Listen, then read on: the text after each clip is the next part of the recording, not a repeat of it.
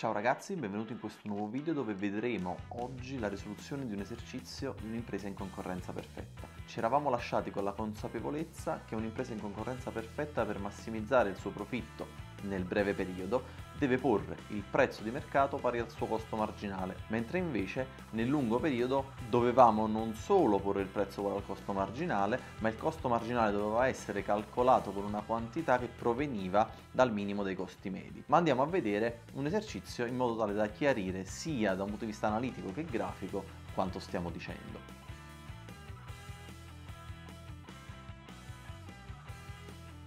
Quindi un esercizio solito di concorrenza perfetta potrebbe darci sicuramente una quantità domandata, quindi una funzione di domanda pari ad 80